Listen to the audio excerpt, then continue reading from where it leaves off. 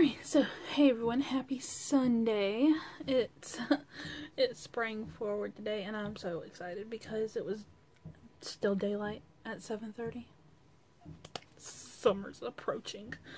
So, I'm going to be doing another 6 for Sunday, but first, reading update. Still haven't read any more from Hollowpox. So sad. But I need to talk about this.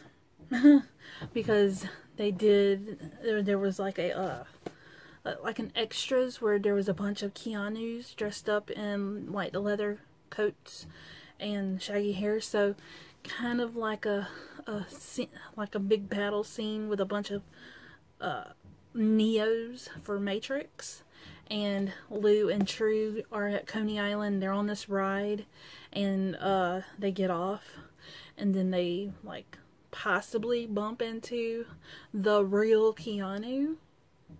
And Lou has a freaking fit. Um, yeah. And so I'm enjoying it, but then it mentioned John Wick and the dog. Okay, so my story with John Wick. I watched it, the first one, I watched the second one. Have not watched the third or the fourth one. The first one, the first five minutes, if you've seen John Wick, you know what I'm talking about. I almost cut it off and said, no, I'm not watching this. I love action movies. I love anything that goes boom, boom, bang, bang. But, what happens, I was ugly crying. I was sobbing. My husband, he was just like, Do we need to turn it off? Do we need to turn it off? No, don't turn it off. I need to see what happens. And then at the end of the movie, I was loving it. But I was so pissed off because nobody told me what happens in the first five minutes. And I'm not going to tell you either. Because I had to suffer, you'll suffer too. But, anyways, that's my little segue into my six for Sunday. So, the six for Sunday, it's a prompt, it's a blog meme where you have a prompt and you have to choose six books that fit that prompt. This is hosted by Steph over at A Little But a Lot. I will link her blog down below. And yeah, so I have six books. Three are in the same series. So it's not cheating. It's three different books. So, I have three books in the same series, and then three other books. So, the first book I have is for Rue, The Hunger Games. Rue is a type of plant. It's not just a base on a sauce. It's not a gravy. It, it is a gravy, but it's not type that type. Okay? So, Rue. Then I have Katniss for Catching Fire. And look at my covers. I love these covers. I think these are like the 10th anniversary editions. And yeah, I can't choose a favorite out of all of these covers. So I know that I like this one better than this one. And then I have Primrose for Mockingjay by Suzanne Collins. And I know I did y'all wrong on that one. Because it's really sad. Like, why would you do that? Why would you mention Prim and Mockingjay? I had to. Because if I mentioned... I could have mentioned Katniss for this one. But Prim wasn't mostly in Catching Fire. So. Um... And it's heartbreaking. Prim. My Prim. But... Prim. That's three. Now, the next one, I have Violet for A Series of Unfortunate Events. This is the fourth book in the series, uh, The Miserable Mill. This one is, um, I have the show versions. We love the show. Um, this has, this has to be my favorite disguise by Count Olaf in the whole series. Uh, Shirley. But yes, Violet. Okay. And then the next one, I was looking at a list of names because I honestly blanked after uh, the Hunger Games series. But then I saw Daisy from The Great Gatsby. And I remember she was a stone cold bitch.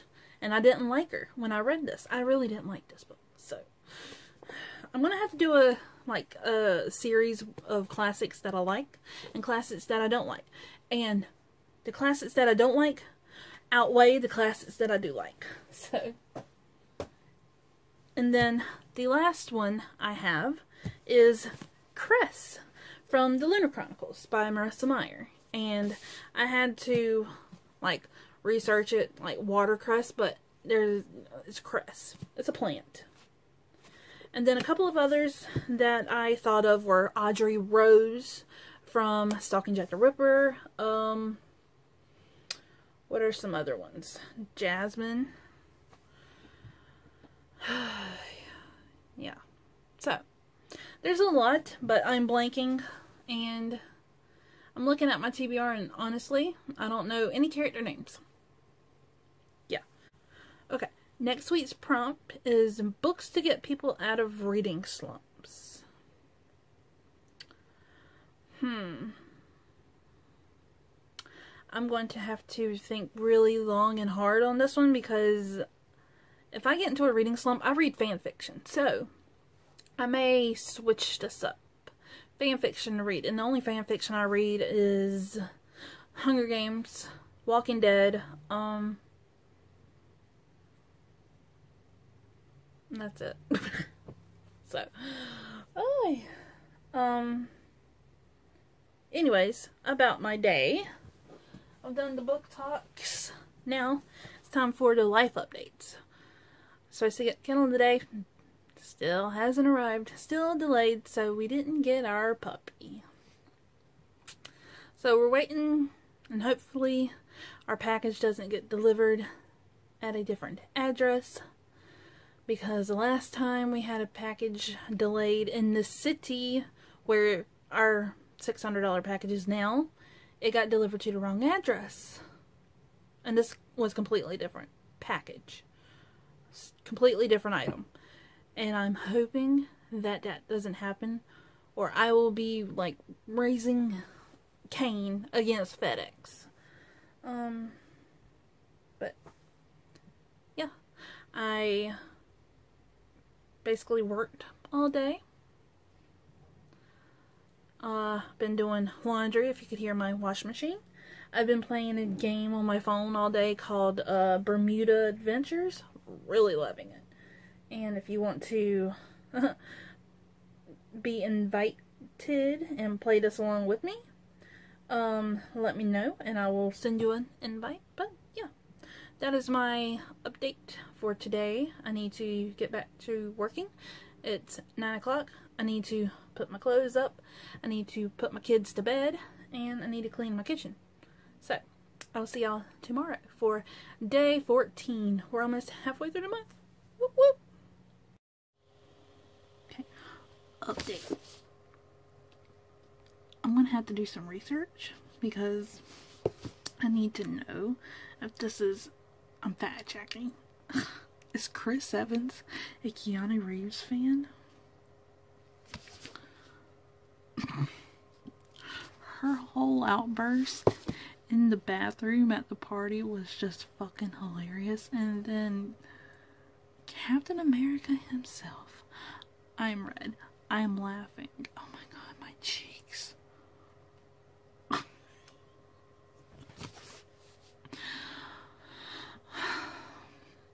This book. Why is it 2.94 stars? It's supposed to be funny. It's humorous. Is it not categorized in the humor section on Goodreads? Because if not, then I will have to, like, write a letter to get that done. Because this is just funny as hell. And it makes me want chicken wings. They've ate, they've eaten so many wings that I want some wings now. Especially Asian hot wings from my local Chinese restaurant. Oh my god. Yes. But Chris Evans.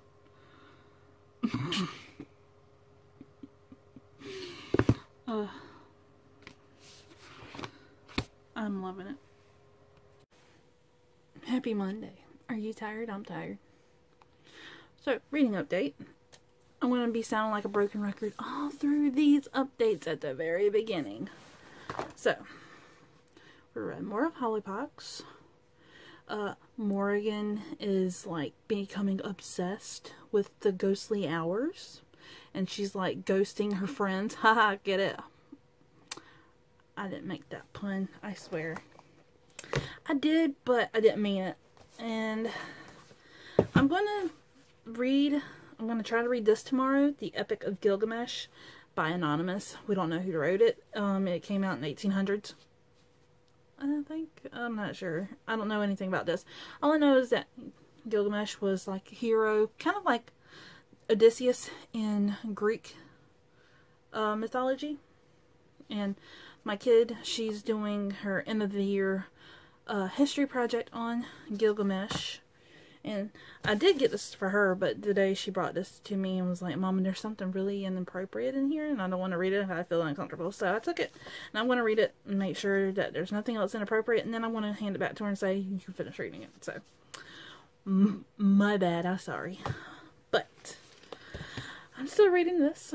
I'm still loving it. I just cackled out loud because they're in Truth or Consequences, New Mexico for the um like Comic Con that Keanu is supposed to attend, and they're in this like little uh, private area. It's like a camper, and it's like tiny, and uh, yeah, so they have to share a bathroom, they have to share a bed, and True just got out of their like little shower bathroom area, and he had like this little towel wrapped around him and Lou just like freaks out like why are you wet? Why are you naked? And then they like have a mishap and they fall over and she grabs his ass and uh she calls her nipples traitors. It's very inappropriate but it's so fucking funny. And they just need to bang already so yes, so that's my reading update. I, um, I don't know. This book is humorous. It's funny. And, yeah, so I'm on chapter 24. I'm on page 204. And I want to finish it tonight. But I want to take my time with the rest of this.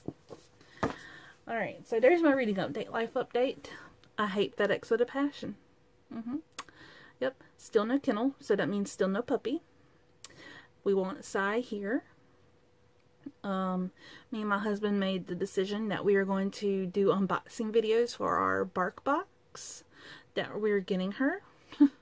She's so spoiled already and we don't even have her yet. She's more spoiled than our cats, which is saying something. Um, so I'm going to have to remedy that. And yeah, so I hate FedEx because the kennel was shipped from Georgia. Then it was in South Carolina all weekend, where I live. And now this morning it's back up in North Carolina. Tell me how that works. Tell me what is FedEx's thought process? I. Uh, and then my bark box is also being shipped by FedEx, which is just perfect. so shipping woes of online shopping. I hate FedEx. If I could choose who my shipping would be, who I could have ship my packages, it would never be FedEx. It would always be UPS. Because I trust UPS. UPS has never got my shipping wrong. The only time that I've had a trouble with UPS is when I was doing a survey for a free product and it was laundry detergent and the laundry detergent ended up leaking in the package and UPS never delivered it back to the seller and I never got another. So that was, yeah, but that's the only time.